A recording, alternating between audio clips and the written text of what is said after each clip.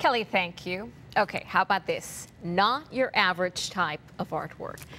This one uses a chainsaw to carve away at a piece of wood to create a masterpiece. Fox 7 Tanya Ortega in the studio with the story. Tanya, we've seen a little bit of this and truly incredible pieces of art.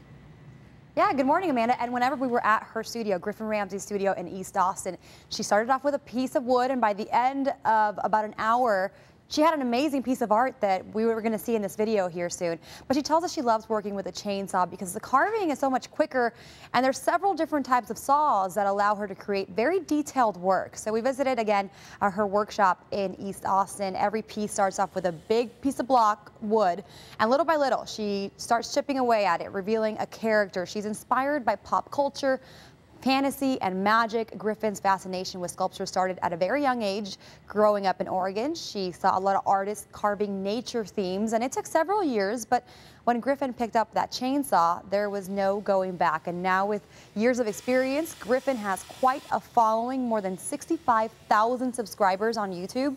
She makes videos that show her progress on different pieces. She also travels across the world to compete in chainsaw carving. Watching something come turn from a lump of material into like a shape that people recognize before their eyes is pretty exciting for most people. And I get excited watching them get excited. I think of it as a performance art or like a sport. Anne Griffon puts out a new video every Wednesday on her YouTube channel. And to get more info or to buy some of her work, you can go to griffonramsey.com and send it back.